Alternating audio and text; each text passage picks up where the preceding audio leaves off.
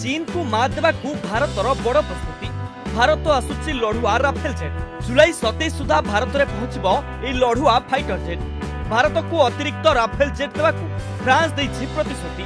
ଆସନ୍ତା ତିନି ସପ୍ତାହ ମଧ୍ୟରେ ଫ୍ରାନ୍ସ ପଠାଉଛି ଚାରିରୁ ଛଅଟି ରାଫେଲ ଜେଟ୍। ପ୍ରତିରକ୍ଷା ବିଶେଷଜ୍ଞଙ୍କ ମତରେ ଏହି ଆଧୁନିକ ରାଫେଲ ଯୁଦ୍ଧ ବିମାନର ପ୍ରଥମ ସେଟ୍ ଦୁନିଆର ସର୍ବୋତ୍ତମ ଦୂରଗାମୀ ଏୟାର ଟୁ ଏୟାର କ୍ଷେପଣାସ୍ତ୍ର ସହିତ ସଜ୍ଜିତ ହୋଇଛି।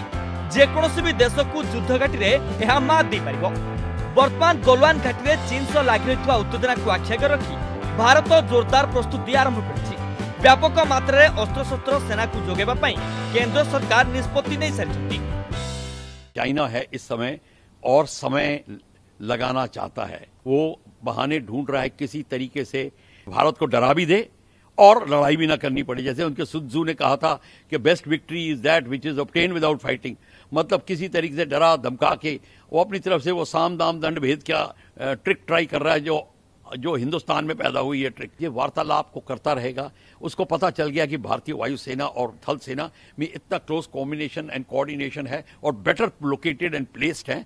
कि इस टाइम उनकी एयरफोर्स और आर्मी में इतना तालमेल नहीं है। हालाँकि उनकी एयरफोर्स है, उनकी आर्मी भी है, पर वो तालमेल नहीं है जो हमारे में है। तो ये को, इसको देख के चाइना अब सोच रहा है कि किसी तरीके से बात कल जाए, उनको खल भी ना करना पड़े और भारत मान भी जाए। चाइना चितना लगा दे, पर ये एक बात सही है चाइना को पता चल जाएगा, वो कोई भी लड़ाई का तरीका अपना दे, वो उसकी हार मुकर्र है। फ्रांस रो डासल्ट एविएशन कंपनी द्वारा निर्मित होई राफेल जेट ଦୁଇ ହଜାର ଷୋହଳରେ ଭାରତର ଛତିଶଟି ରାଫେଲ ଜେଟ୍ ପାଇଁ ଫ୍ରାନ୍ସ ସହିତ ଚୁକ୍ତି ହୋଇଥିଲା ଯାହାର ପ୍ରଥମ ସେଟ୍ ଭାରତ ଆସୁଛି। ଫ୍ରାନ୍ସରେ ତାଲିମପ୍ରାପ୍ତ ଭାରତୀୟ ପାଇଲଟଙ୍କ ଦ୍ୱାରା ଉଡ଼ାଯିବ ରାଫେଲ ଜେଟ୍। କେବଳ ସେତିକି ନୁହେଁ ଭାରତକୁ ସାମରିକ ସହାୟତା ପାଇଁ ଅସ୍ରାଏଲ ଆମେରିକା ଓ ରୁଷ ବି ଅସ୍ତ୍ରଶସ୍ତ୍ର ପଠାଉଛନ୍ତି। ଭାରତୀୟ ସ୍ଥଳସେନା ପାଇଁ ଶକ୍ତିଶାଳୀ ଏୟାର ଡିଫେନ୍ସ ସିଷ୍ଟମ ଦେବ ଅସ୍ରାଏଲ।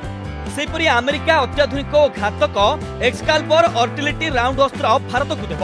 ରୁଷ ମଧ୍ୟ S four hundred anti air defence missile ସହ ଭାରତୀୟ ସେନା ପାଇଁ ଅଧିକ ଗୁଳି ଏବଂ ଅସ୍ତ୍ରଶସ୍ତ୍ର ପଠାଉଛି। କୁହାଯାଉଛି ପାଖାପାଖି ଏକ ବିଲିୟନ ଡଲାରର ଅସ୍ତ୍ରଶସ୍ତ୍ର କିଣିବାକୁ ଯାଉଛି ଭାରତ ଯାହା ଭାରତର ସାମରିକ ଶକ୍ତିକୁ ଆହୁରି ଦ୍ୱିଗୁଣିତ କରିବ। ରିପୋର୍ଟ ତର୍କ ଷ୍ଟାଡିୟମ